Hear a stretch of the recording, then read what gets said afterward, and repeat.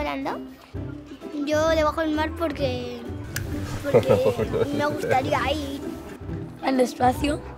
Una, una cúpula de hielo y por fuera un montonazo de peces. En un planeta se podría chutar la bola y podría nadar mientras.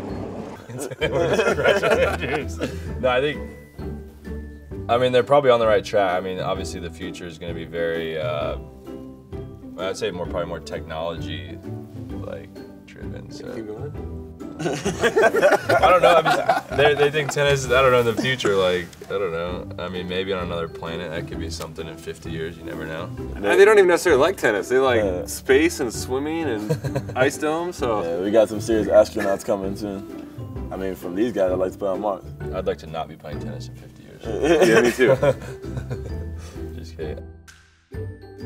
Pues que la gente que va a ser árbitro de mayor vuela desde arriba, puede ir a cualquier sitio. Un robot. Un robot. Podrán ser animales. Un animal. Como un león. Una serpiente. Yeah. I'd be okay if they taught animals to call the lines. Yeah. That'd be cool, like little lions out there. Roar when the ball's out. that that'd be crazy. That would be cool. That I don't. Be crazy. I don't know if that's gonna happen, but wouldn't mind a robot either. Yeah, ro robot would be wild.